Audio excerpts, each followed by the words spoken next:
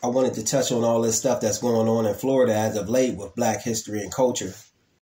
Apparently, the NAACP in Florida is trying to put a travel ban on black people coming to Florida and is calling for their big national headquarters to get on board.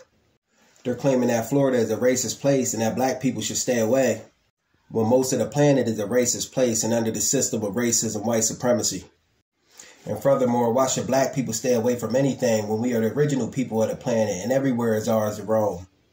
We shouldn't run from anything, but stand up for everything that's ours. This isn't them days of old where black people got the short end of the stick anymore. We on the rise. And who put the NAACP in charge of black issues anyway? They're not. They're for the interests and services of all minority people. And they aren't truly for black power, upliftment, and unity. They're even against reparations for descendants of slaves, which is ludicrous. The NAACP is full of sellouts.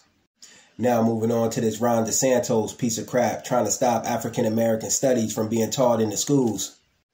This push now to silence black history is all because their history is becoming unveiled.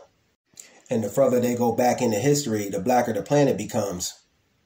For many years, this planet was nothing but black. They can't just limit our history to slavery. Our people are waking up, getting knowledge of self. But to the family out there, educate black children in the home. Education starts in the home first and foremost. Why would you expect your enemy to properly educate your children first and foremost when it serves them not to do so? But my advice to people out there, and especially in Florida, is homeschool your kids. True education and black history starts in the home first. The only thing I agree with Ron DeSantis on is banning woke culture and queer theory.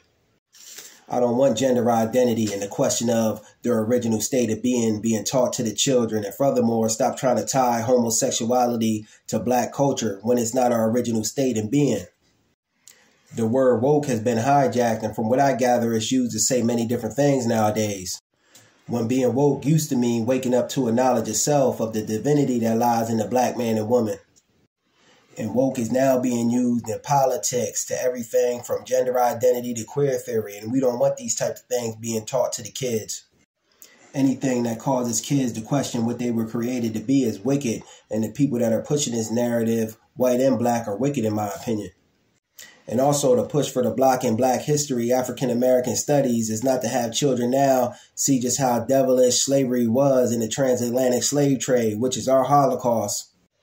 Nowadays, I'm noticing they want to minimize the role of slavery and not let kids know about it, especially not white kids, to let them know the injustices that their ancestors had done. They want to suppress the truth. But even if African American studies is taken out of the schools, parents educate your kids. True black history starts with the home front. It starts at home first. And if you're not educated on everything when it comes to black history, educate yourself so you will in turn be able to educate your kids. But one thing for certain, two things for sure, they would never be able to silence truth. Truth will always reign supreme. Truth is on the rise. Peace.